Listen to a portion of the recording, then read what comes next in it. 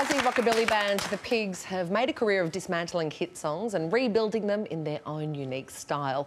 The guys have now taken on one of Cold Chisel's biggest hits. They're performing tomorrow at the Deni Ute Muster. But first, please welcome Stretch, T-Bone, Cousin Monts, Cousin Archie, ah. Piccolo Latte Pig and Cardinal Slim yeah. with their song, Ita. Aww.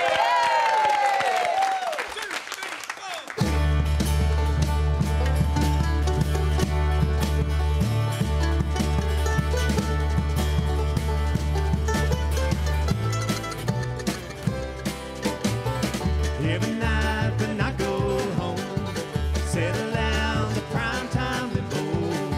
All the boys are gathered around shop.